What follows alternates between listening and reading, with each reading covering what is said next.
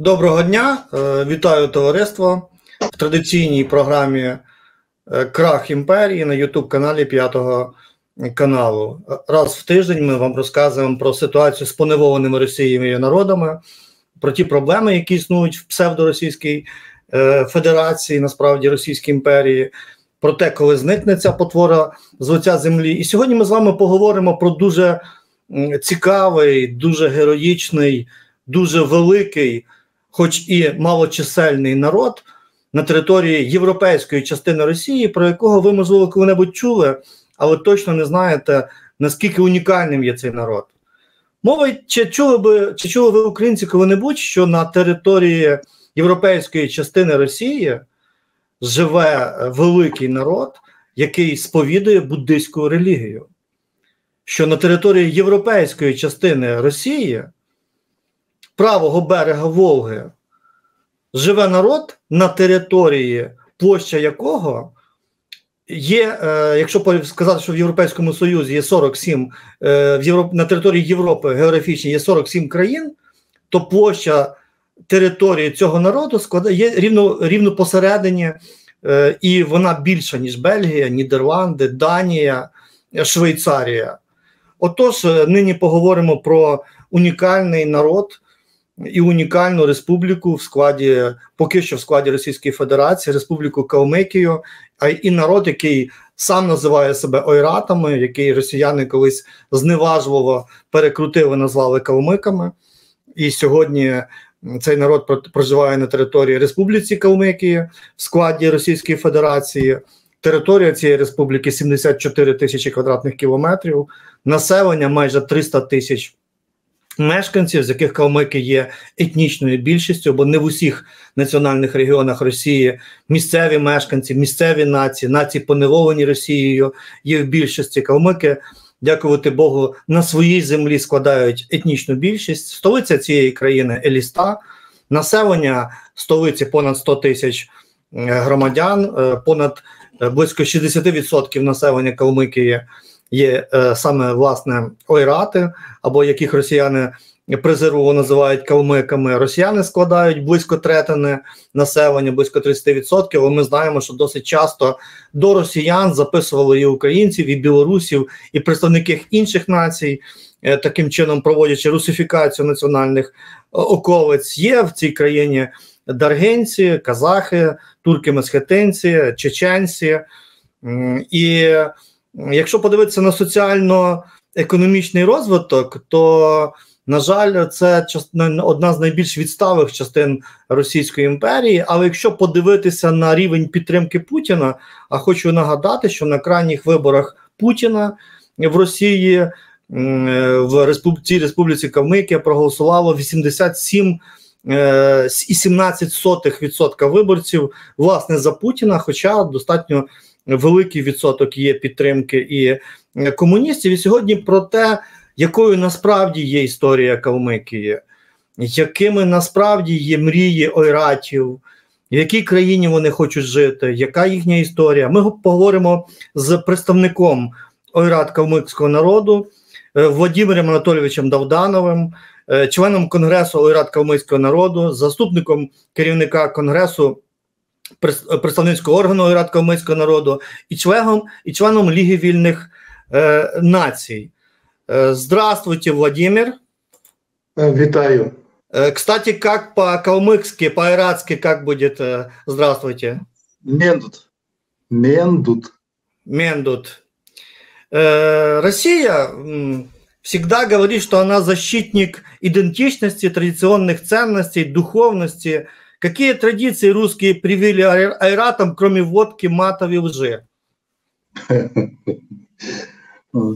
Ну, если, если честно говорить, то мы анализируем, конечно, вот эти вот э, нарративы русские, да, но кроме негативного больше ничего не, не находим. Вот мы стали действительно выпивать спиртное, а спиртное нам не идет. Э, мы стали ругаться по-русски матом. Э, мы стали агрессивные, мы стали э, нетерпеливые, мы стали э, ненавидеть другие народы. Мы, мы, я могу много причин назвать, по которым мы только негативный такой нарратив нарастили внутри нации, понимаете? И мы теряем языки, культуру свою, обычаи. А хотя а, а, а, если, если серьезно, чтобы люди знали, кто такие айраты и за что они борются, чего хотят айраты, кто, потому что, наверное, с нашей программы украинцы с удивлением узнают про то, что вы буддийский, большой буддийская, большая буддийская нация – что вы имеете очень большую героическую историю, независимую историю, что только в 19 столетии вы окончательно попали в независимость к Москве, потому что до этого вы были союзниками. Вот кто вы такие, как вы себя ощущаете и какую мечту вы имеете национальную? Я попробую кратко рассказать, конечно. А, мы западно-монгольский этнос, западно-монгольский народ. Э, мы проживаем э, и сейчас проживаем на территории Западной Монголии, внутренней Монголии и Джунгарии. Сейчас она называется Синьцзянь-Уйгурский автономный округ. Это было э, наше государство в XVIII веке. Наши соплеменники проживают в Афганистане, это хазарейцы. В Пакистане, в Иране, это тоже хазарейцы. Во внутренней Монголии тоже проживают, и на территории, собственно, самой Монголии проживают. И на территории России около 270-300 тысяч. До сих пор даже мы не знаем, сколько. История нашего народа, конечно, она была в какой-то степени героической. Раньше мы же кочевники, часто воевали. Кстати, в 17 веке вместе с запорожскими козаками мы противостояли туркам. Вы из истории знаете. Э, нас знал э, э, украинский писатель Гоголь. Он, кстати, говорил, что два языка есть таких саркастических, иронических. Это ваш язык украинский и наш э, калмыцкий, он так называл. Э, помимо этого, э, мы начали движение где-то в 16-17 веках со, со стороны Джунгарии, ну, Азии, Средней, Средней Азии. И двигались по, по территории Сибири, Казахстана – в нашу вот в сторону, которая сейчас мы, на которой проживаем. Э, где-то 100, 100, 100 лет мы была независимое государство, наше торговское ханство называлось так. Потом э, мы практически были союзниками России, практически во всех войнах участвовали. Ну, практически, наверное, мы с другими народами и создали это государство, монстр, которое сейчас стало. А, после этого в 1771 году, в 1721 году э, к нам приезжал Петр I на берега Самары. Это была наша территория раньше. Начиная от Тюмени. Тюмень по-монгольски, по нашему языку, означает 10 тысяч войска. Тюмен. Тюмени. И до Ессентуков, Ессентуки означает 9 знамен. Это места сражений с кавказскими народами было такое. Вот эта территория вся наша была огромная территория, но э, в 1771 году Екатерина II своим рескриптом упразднила наше государство, когда большая часть нашего народа с, лево, с левобережья Волги ушла обратно в Джунгарию, в Джунгарию, в Западную Монголию. Э, небольшая, небольшая численность населения нашего осталась, вот, число которых и вошли мои предки. Мы остались на правом берегу Волги, и до сих пор там и проживаем. Участвовали во всех войнах практически России. Э, уже э, находясь в колонизации. Потом, когда э, большевистский переворот произошел, мы попытались создать свое государство, но у нас не получилось, потому что разрозненные, мы не знали, что такое революционная борьба и так далее. И были на протяжении там, века с чем-то в колонизации в Русской империи. Поэтому о самостоятельности как-то не думали. Но в любом случае попытка была, конечно. А, э, история 20 века, она оказалась для нас очень такая трагическая. Нас было 210 тысяч человек по переписи 1910 года Царской империи. А, где-то э, в конце 20-х годов у нас осталось около 90 тысяч. То есть они, практически уничтожили большую часть нашего народа. Ну и Голодомор у нас был не в таких масштабах, конечно, как в Украине, но, но все-таки был. Э, после этого апогеем явилась депортация нашего народа в 1943 год, в декабре 28 они нас загрузили в, в эти скот, скотные товарные вагоны, Столыпинские так называемые, и отвезли в Сибирь. И вот на территории огромной Сибири нас рассеяли практически по всей территории. Раскидали народ везде по, по деревням, там, и половина погибла там. А, до 1957 года. Практически геноцид шел нашего народа с 1918 года по 1957 год. И нас осталось до 73, 73 тысячи, по-моему, всего. Э, конечно, высокая рождаемость была, и в то же время э, большие потери мы несли. Участвовали в, э, во Второй мировой войне на стороне советской власти большая, большая часть населения нашего народа.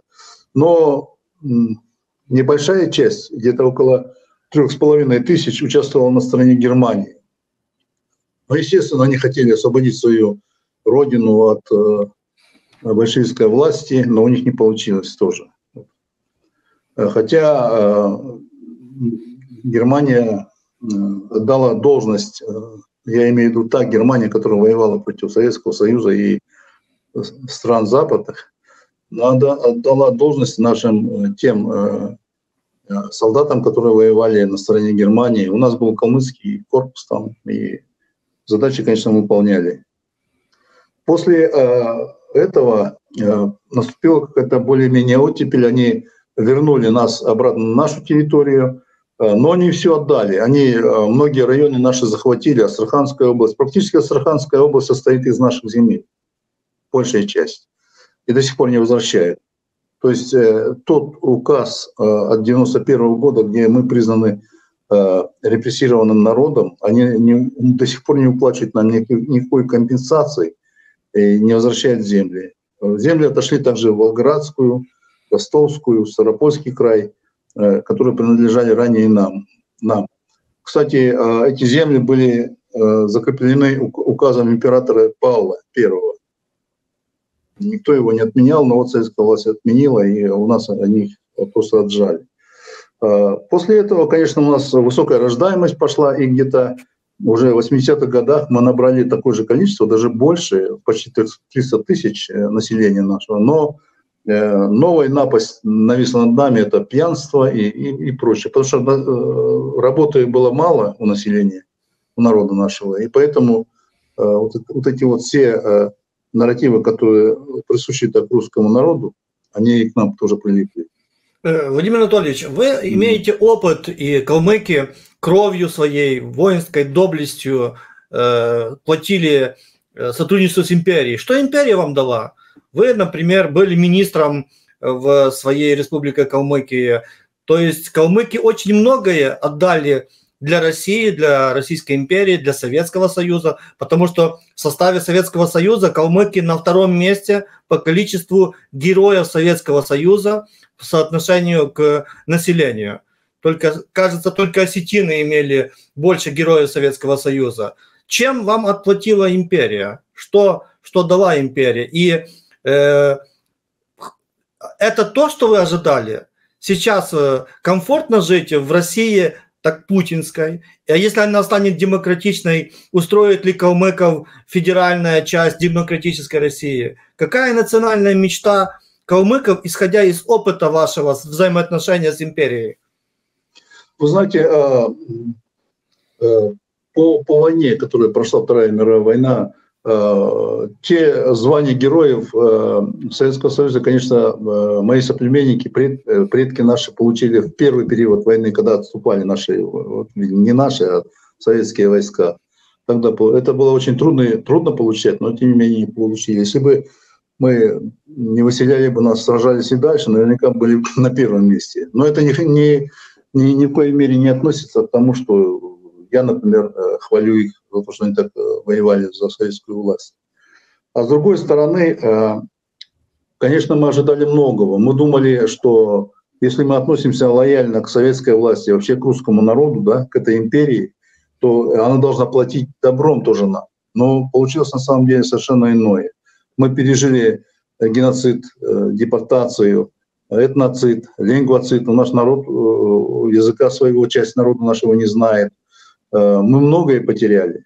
Поэтому, когда говорят э, хорошие русские, я вообще всех называю хорошими русскими, которые уехали, убежали на Запад, а плохие русские, которые против Украины воюют.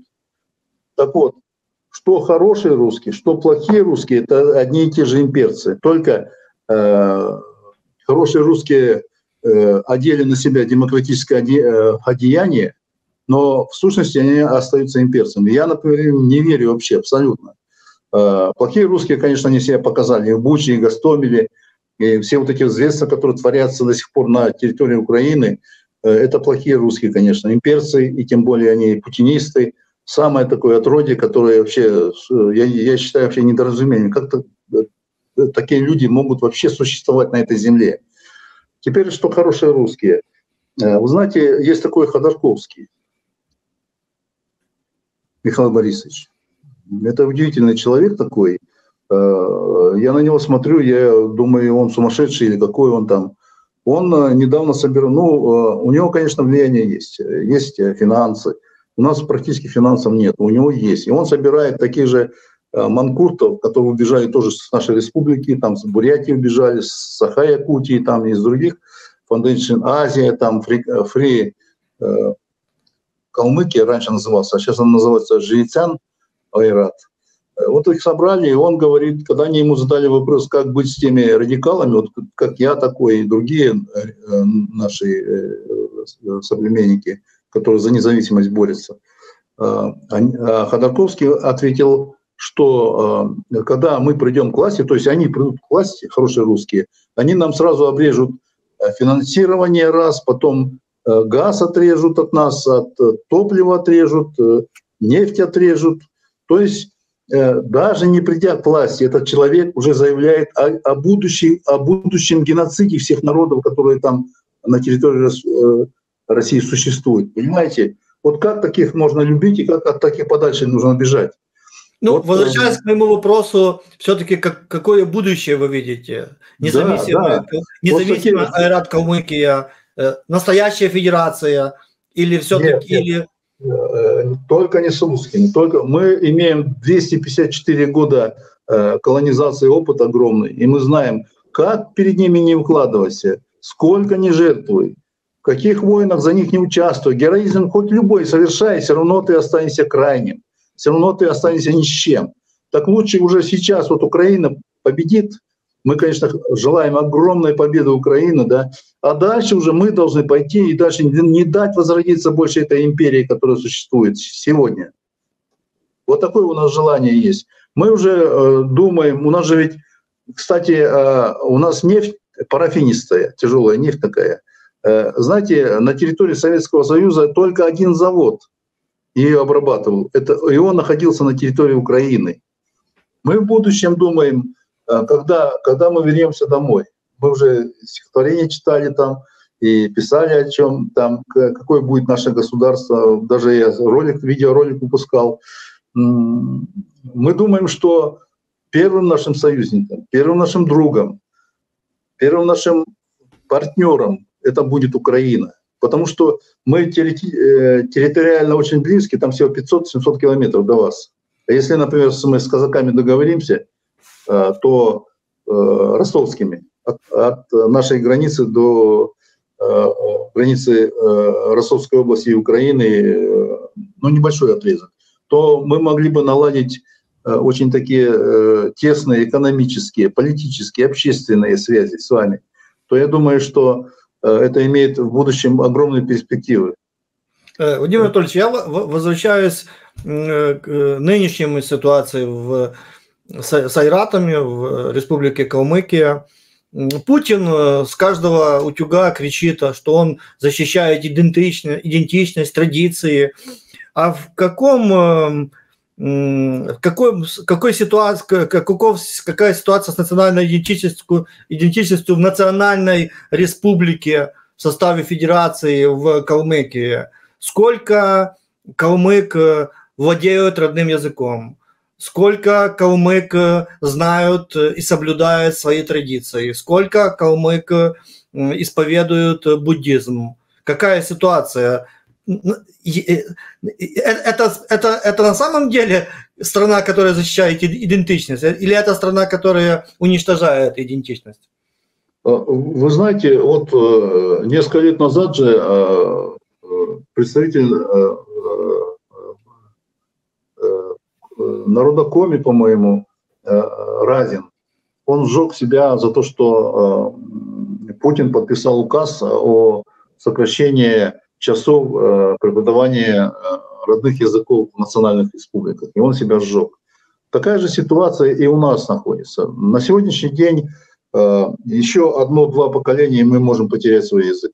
Мы даже можем потерять свой облик, потому что очень много браков между русскими и нашими представителями нашего народа. Потом я уже говорил, что экономически мы занимаем самые последние места снизу. Ну, понимаете, наверное. 74, 74 место из 85 за средним рейтингом социально-экономического, социального э, развития. Но вы знаете, э, гораздо печальнее ситуация. Не 74, а где-то 85-84 место у нас. Там Это, Тыва. Тыва, Тыва занимает первое. Да, да. Вы знаете, э, я думаю, я же сам был чиновником, я, я видел эту ситуацию, которая, э, вернее, те статистические данные, которые на тот период, 2004-2005 годы, я мог смотреть, но они не отражали, вернее, а, они были реальными, но их не вставляли в те данные, которые стат, стат управления рассылал, например, по районам нашим и отдавала в центр федеральный, то есть в империю. Э, ситуация складывалась таким образом, везде было очковтирательство, везде было вот это вот приписки разные, и эта ситуация так и осталась сегодня, даже еще больше. Э, потом, а вот, я, э, вот я хотел спросить, республика же национальная, да, калмыки большинство. Все ли ученики учат калмыкский в школе? В каком объеме? И можно ли получить на калмыкском среднее специальное или высшее образование в Национальной Республике Калмыкия? Э, ситуация очень тяжелая, очень тяжелая и очень печальная. Э, если ученики садятся за урок своего родного языка, то это всего один час в неделю сейчас происходит. Остальные э, все предметы преподаются только на русском языке. А поскольку мы народ такой любознательный, тем более быстро все хватаем, то русский язык, конечно, мы, возможно, даже вперед, чем некоторые народы выучили. Вот меня, например, Э, я в стримах участвую с башкирами, там, ребятами, с другими тоже. Они меня спрашивают, почему русское имя такое, ну, у меня. И такая ситуация во многом у нас тоже э, связана с русскими именами, с русскими названиями. Э, хотя у меня тоже свое родное есть, конечно, имя. Я могу его назвать Дайчин, но вынужден писать Владимир. Ну, наверное, когда паспорта на свои будут национальные, я там и напишу свое родное национальное имя. Что касается... А, то, то, есть, то есть в национальной Калмыкии, где большинство калмыков, калмыки только один час да, да, в неделю да, в, школе. в школе могут учить родной язык. А математику да. на калмыкском можно учить? Нет, нет, нет, только на русском. Родной язык только и все. А Хорошо. А, а, в, а есть, а средние специальные какие-то профтехучилища есть на, на калмыкском? Нет, нет, нет нету. А высшее вот, образование? Можно получить нет, высшее образование, не уча? у нас э, в университете есть факультет э, э, родного языка, ну, калмыцкого. И все. Но и то, по-моему, сейчас они не выпускают, не, сокращают выпуск учителей родного языка. Конечно, ситуация изменится, когда мы придем. Когда мы ну, объявим... то, то есть родной язык можно учить только дома, только если родители владеют и хотят знать и учить детей э, родному языку. И сколько таких калмыков сохранилось, которые знают родной язык, письменность? Вы знаете, э, э, создана вообще в Русской империи, вот этой вот, которая называется Российская Федерация, да, создана такая э, атмосфера, при которой даже вот этнические э, национальности не имеют возможности и не поощряется к изучению родного языка. Поэтому многие, конечно, пали духом и э, стараются э, применять русский язык, э, так как на нем можно сделать и карьеру, и на нем можно защищать там научные какие-то свои достижения. То есть везде общение на русском языке. Хотя в деревнях у нас есть, конечно, семьи, которые э, э, традиционно разговаривают на своем родном языке. У нас такое есть, конечно. А вот Но я думаю, еще... Ну, ну, да, да, докажите, пожалуйста, сколько... Вы знаете, для меня, я из статьи писал про родной язык, да, вот для меня такой огромный пример это, – это евреи израильтяне. Когда создавалось государство еврейское, ведь они приезжали туда э, с немецким языком, с английским там, и, и, и так Мертв, далее. Мертвый язык, тысячу лет мертвый да, язык. Да, да, совершенно верно. Я, я в статье этой написал, что вот э, для нас должен быть э, пример израильтян как народа, который был гоним, который был репрессирован, уничтожался, и тем не менее сейчас свое государство возрождает, и язык у них стал государственным. Этот пример я проводил. А и... на, на, тел, на телевидении э, или радио предусмотрены программы на калмыцком языке, квоты? Потому что русские постоянно кричат нам в Украине, дайте нам возможность видеть, э, смотреть телевидение, читать газеты, книги читать на русском языке. А вот в национальной Калмыкии на телевидении местном республиканском или и радио, если оно есть, есть программы, квоты для на калмыцком языке? И конечно это? есть, конечно есть, но они настолько мизерные. Э, ну смотрите, вот э, новости, которые идут 5-10 минут на родном языке, например. Специальных программ, например, раньше были, но сейчас, например, э, таких вот программ, которые бы целенаправленно влияли бы на молодежь или на основное наше население, чтобы они э, изучали свой родной язык, такого нету сейчас. И, те, и оно постоянно сокращается. И вот это вот у нас тоже вызывает тревогу. И мы понимаем, что с, с утратой родного языка и многих э, национальных компонентов, конечно, мы как нация перестанем существовать. А книги, это... книги издает, империя позволяет издавать книги на калмыкском, калмыцких авторов, э, переводится литература ли, ну вот есть какие-то издания а, английские, французские, можно почитать Дюму на калмыкском или нет? Что-то я плохо слышу вас, сейчас попробую наушники одеть. Э, я говорю про книги, слышите а. меня? Про книги издаются ли книги на калмыкском языке и переводится ли на калмыкский? Можно ли Дюму почитать на калмыкском или э, Гарри Поттера почитать детям на калмыкском?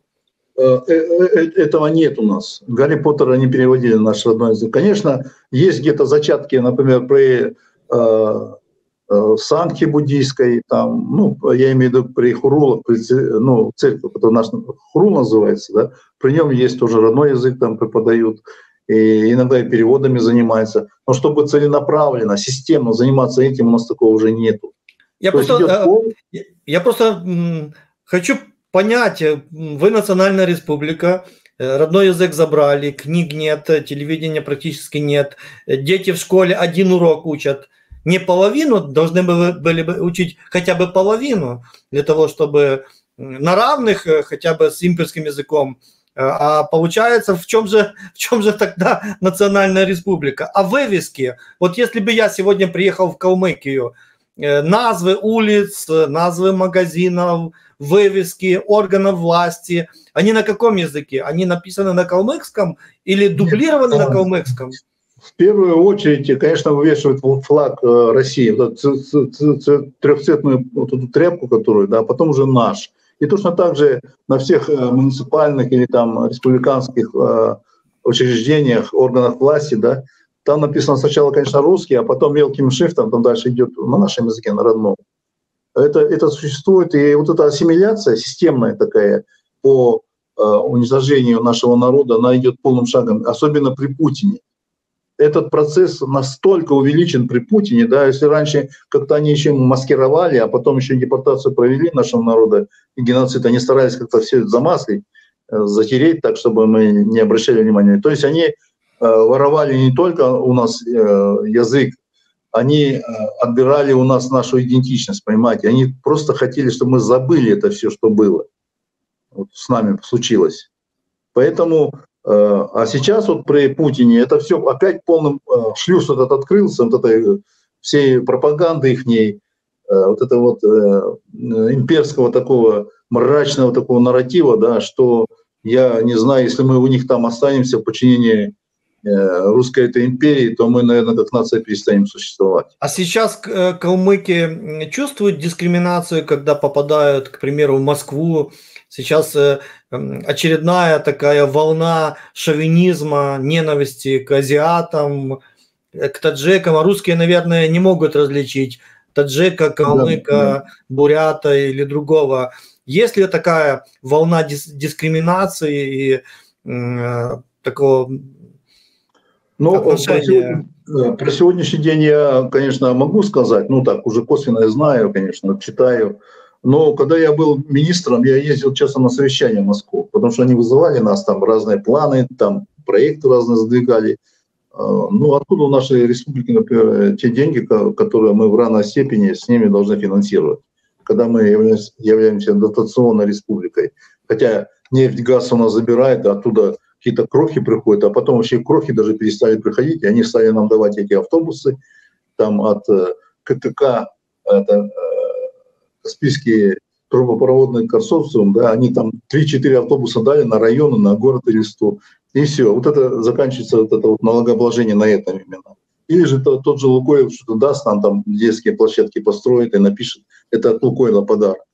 Вот это вот э, как раз таки в налоги входило это все. Хотя, хотя они там до 600-700 миллионов долларов должны были нам отдавать только за, за нефть, за газ, за транспортировку через нашу территорию но они нам не, не отдавали. Ну, конечно, для развития нашего народа много денег не надо. У нас всего там 200-300 тысяч человек, да, хватило бы, чтобы даже дети наших зарубежных институтов, университетов учились ведущих. Нам хватит для нашего народа полностью и социальную сферу, чтобы мы закрыли, даже вооруженные наши формирования, если будут они у нас в новом независимом государстве. Нам нужно 600, 700, 800 миллионов э, долларов. Они у нас есть. Есть.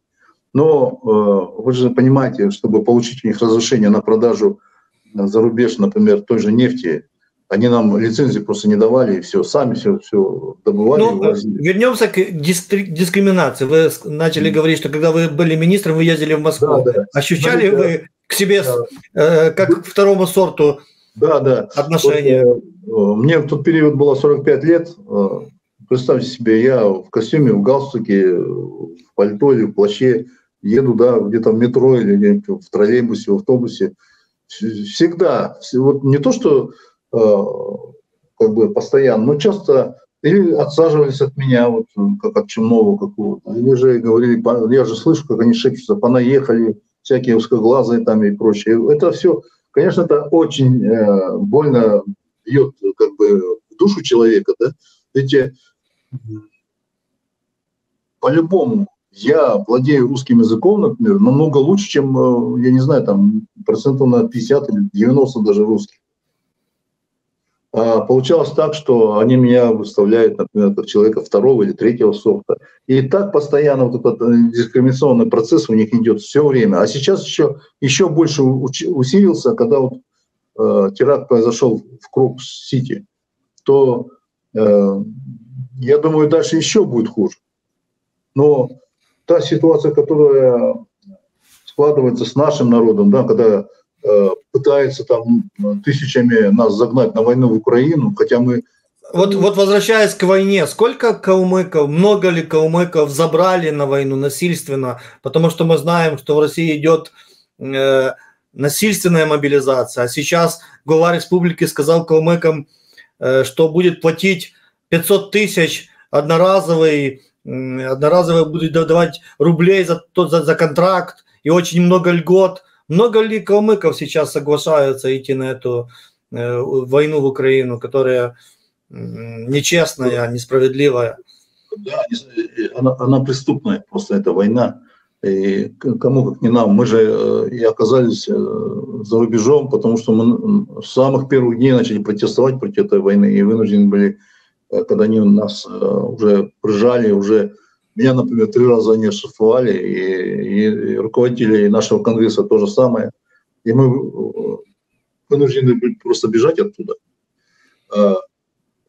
То, что происходит, конечно, с нашей молодежью, с калмыками, там, которые э, хотят воевать. Но я таких вообще-то не слышал. Правда, один там э, э бегал, я не буду фамилию называть, он там по листе бегал, кричал, я русский, если русским плохо, то это самое, ну, я, я тоже говорил им, двух-трех встречал, я говорю, как это вы русские? Посмотрите на свой облик, говорю, какие вы русские?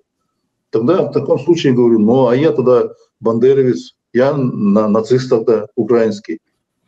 Это же то же самое говорю, но в любом случае те хоть свою родину защищают, а, а вы зачем туда поедете? Но мы считали в первый год, сколько э, Калмыкия потеряла э, за войну в Украине за этот год, за 22 год. И мы насчитали где-то 86 или э, где-то под 90 человек, которые погибли. Ну, часть из них была нашей, часть была русские, там, которые проживают на территории Калмыкии. Но в любом случае потери были. Но сейчас они за, до, до такой степени все это дело засекретили, что мы даже не знаем, сколько человек. Мы знаем, что где-то около 400 человек воюет э, э, за Россию, за империю. Они какой-то, какой-то итог по, по передачам. Раньше первый год они разные видео выставляли там, как они воюют с украинцами, но лично я, потом все наши, руководство нашего конгресса, другие люди, которые за границу выехали, убежали от этой войны, начали писать, вы что, дураки, что вы новые уголовные дела на себя пишете. Потому что если вы в Украине с оружием в руках, вы являетесь военными преступниками. И после вот этих вот наших поступлений таких, да, они прекратили э, транслировать это, свое геройство. Это было такое. Потом э, был неприятно такой осадок, какой-то азиат э, взял украинского пленному, там гениталии отрезал и что-то еще, застрелил его или как там. И у меня мои друзья украинцы спрашивают, это, это же ваш был? И фамилию какого-то называют. И мы начали его искать уже на территории республики, звонить друзьям своим. Они пошли домой к тому человеку. А, а тут э, сестра его говорит, это не он, он уже давно не воюет, ничего не делает, он уже отслужил в Вагнере, говорит, и э, потом вернулся. Говорит, и он сейчас дома находится. То есть это оказался не наш, а какой-то тувинец, по-моему. И, а мы предупредили, если хоть один преступление совершит, а когда мы придем, мы не будем покрывать. Мы не найдем его везде и передадим Украине.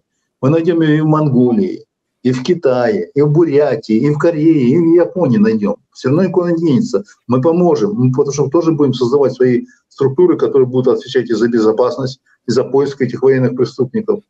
Естественно, мы э, по закону справедливости мы должны его найти и передать Украине. Кстати, мы составили санкционный список и будем передавать Раде для утверждения. Э, Владимир что... Анатольевич, я хотел бы поблагодарить, поблагодарить вас от имени украинцев, что есть э, айраты, есть люди, которые понимают э, суть этой войны, которые выступают против этой войны. А много ли у вас союзников на территории Российской империи? Вот Лига свободных наций. Много, много ли ваши идеи находят отзывы в других порабощенных, представителях порабощенных наций. Расскажите немножко коротко про лигу, про вашу лигу, про деятельность и что, что вы планируете делать, какие планы, как, э, какая стратегия. Э, ну, лига была весной 22 э, года сформирована. Кстати, я тоже участвовал в этом. Мы как народ вошли туда, конгресс, как представители нашего народа, конгресс наш вошел туда. Э, много было сделано. Конечно, мы ведем такую э, больше информационную войну, потому что пока что у нас э, не совсем как бы получилось, чтобы сформировать свои национальные подразделения. Мы не находим пока понимания у западных стран, потому что без Э, участие и принятие Западом нас как акторов международного, э, международной деятельности, мы такое не можем сделать. Почему? Потому что они объявят нас сепаратистами, террористами, экстремистами. Там. Нам бы не хотелось э, становиться ну, в плохом понимании слова экстремистами. Конечно, такой момент мы надеемся, что наступит, мы получим добро, и тогда можно Э, будет уже формировать или на территориях э, западных стран, или на территории Украины свои национальные части, чтобы они, э, когда вместе с украинцами уже приняли участие в освобождении Украины, и потом уже дальше пошли на территорию России. И уже мы, мы, мы знаем прекрасно, кто будет противостоять. А, а кто, кто входит сегодня в э, Лигу свободных наций? Какие, какие нации согласились а, ну, участвовать? Практически, практически все народы, за исключением некоторых, конечно. Там есть э, моменты, связанные э, с несколькими организациями, например, того же э, чеченского народа Ичкерии, государства Ичкерия, э, или же Ингушский комитет независимости и, другие, которые сочувствуют нам, но пока еще не вошли. Но у нас есть еще одна организация, которая создана в Америке. Она, называется НЕСА. В нее входит пять народов. Это ингуши, мы, там, буряты, саха, тувинцы. И мы там э, целью ставим, чтобы э, представители этих народов там, которые живут вот, на территории Америки, выходили на Конгресс США, Сенат США, на политическую элиту США, чтобы они меняли те нарративы, которые у них с давних пор еще есть, э, чтобы они поняли, что мы тоже являемся участниками международных, должны стать участниками международных институтов. То есть те старые нарративы, которые у них сейчас есть, вот надо оставить Россию единой там, те народы пускай там варятся в том котле, демократия придет туда, но не придет демократия. Мы же понимаем, что на протяжении 20 века э, э, Россию три раза выручали. Помните, в 20-х годах, когда голод, голод был, по Волжье, там и в Башкирии, в Казахстане, американцы сильно помогли. Потом э, во время Второй мировой войны был Ленд-Лиз. Опять же, это империи советской помогали на свою голову. А теперь смотрите, 91 год разрушили Советский Союз. Опять же, они же, даже к вам же приезжал, э, э, по-моему, Буш-старший и уговаривал элиту Украины политическую, чтобы они не выходили из... Угрожал, угро, угрожал, и заставлял да. остаться в Советском Союзе, да. Но украинский народ, он просто вышел и все. И теперь Украина, вот эта вот напасть с оккупантами русскими, их разгромом это все пройдет. Но будущее Украины, вы же понимаете, оно же будет, э, ну, я не знаю, если не Япония, то, возможно, как Южная Корея или Тайвань она пойдет. Но в любом случае мы должны все понимать, что русскую империю да, еди, централизованным единым государством нельзя оставлять. Ни в коем случае. Она должна распасться. Мы должны все не получить, а обрести независимость, свободу и независимость. И потом уже став Э, свободными, независимыми, мы должны просто заключить со всеми, э, уже как акторы международного права, международных, э, международных институтов, мы должны заключить договора, которые мы, в которых мы возьмем на себя обязательство не, не обладать ядерным оружием, не быть агрессорами, террористами, например, ну и таким образом мы будем обуздывать эту русскую империю, которую я, безусловно, уверен, что они попытаются возродить ее, как всякие Стрелковы, такие э,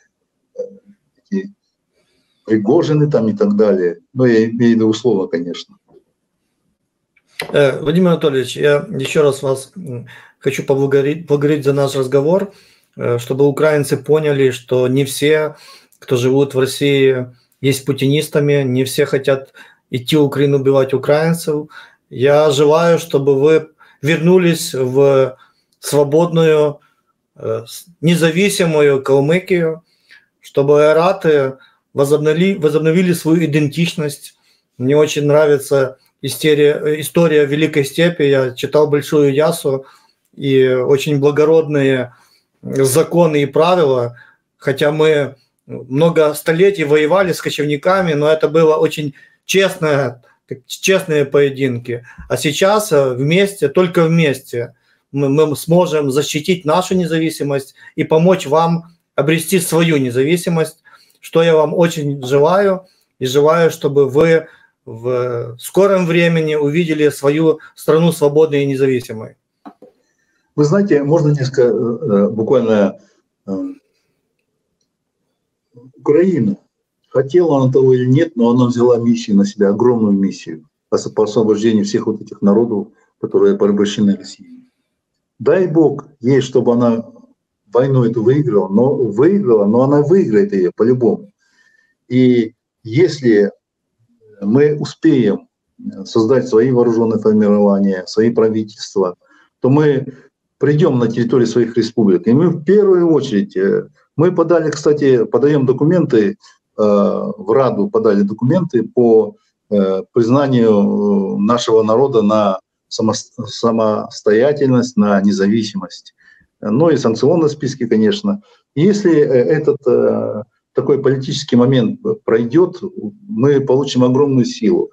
Если бы, ну это, наверное, мое желание просто, политическое руководство Украины, а потом политическое руководство западных стран обратилось бы ко всем нашим народам, прямо обратилось бы, сказало, вы должны быть свободными, вы получите независимость свою. Не получите, а обретете независимость. Мы за вас, будущее ваше, мы план Маршала, например, там, да, будем проводить, то я думаю, что Россия быстро разрушится. Если дадут надежду нашим народам, Запад даст, мы все хотим, как Запад живет, мы тоже так хотим. Мы все хотим быть в НАТО, если честно говорить. У нас есть э, возможность предложить и Украине, и э, Евросоюзу, да, э, где можно у нас поставить базы там и полностью Каспийское море, мы же на берегу Каспийского моря живем, можем контролировать все. И если такую надежду страны дадут политики, ведущие, э, принимающие решения, то я думаю, что Россия недолго продержится. Э, дякую. Е, спасибо, господин Владимир. Е, дякуємо Володимиру Довданову, людині, яка була високопосадовцем в імперській структурі Російської імперії в Республіці Калмики, займав посаду міністра, але публічно засудив російську агресію в Україні, мусив е, мігрувати. Сьогодні домагається, щоб інші калмики не засуджували цю війну. А ми, як українці, повинні, на відміну від Росії, дійсно вголос забезпечити право, що Україна визнає право кожного поневоленого Росією народом здобути свою незалежність, жити за своєю ідентичністю, своїми правилами, своїми законами на своїй землі. І це місія України. Росія несе смерть, вбивства, рабство ми маємо нести свободу і право народів на боротьбу. І я вірю, що український парламент вже давно мав би визнавши таке право за ічкерійцями, за чеченцями, за інгушами. Ми маємо визнати таке право на незалежність за всіма поневоленими Росією націями і заявити, що ми не просто визнаємо це їхнє право, а так як ми зі зброєю в руках захищаємо свою незалежність, то ми їм готові допомагати в цьому, хоча б військовим шляхом, хоча б зброєю, і очевидно дати право кожній нації, яка бажає створити прообраз своєї національної армії на території України. Ми не закликаємо воювати за Україну. Ми закликаємо творити свою національну армію, яка буде на своїй території битися і боротися за свою незалежність. Тому дякуємо Володимиру Довданову. Е, це дуже важлива позиція, це дуже важливий сигнал, що в Росії є різні люди і по-різному бачать ситуацію, що Росія не є така однорідна, і в нас там є союзники, ті союзники, які готові боротися. До речі, щоб більше знати про ситуацію з поневоленими Росією народами, про національну визвольну боротьбу цих народів. Я закликаю вас не лише підписуватися на YouTube канал П'ятого каналу і дивитися, слідкувати за програмою Крах імперії, але слідкувати за інформаційними ресурсами антиімперського блоку народу, за сайтом ABN.org.ua, за сторінкою в Телеграмі, в Фейсбуці, в Ватсапі, де в щоденному режимі розповідається про ситуацію в Росії, про проблеми в Росії. Я закликаю вас слідкувати за дослідженнями українських студій стратегічних досліджень, які почали великий проект моніторинговий стану конфліктної ситуації ситуації в Росії, тому що ми пам'ятаємо, що для того, щоб перемогти, потрібно не лише досконало знати себе, але досконало знати ворога, і перемога, перемога обов'язково буде. Отож, до наступних зустрічей в програмі Крах імперії. Слава Україні!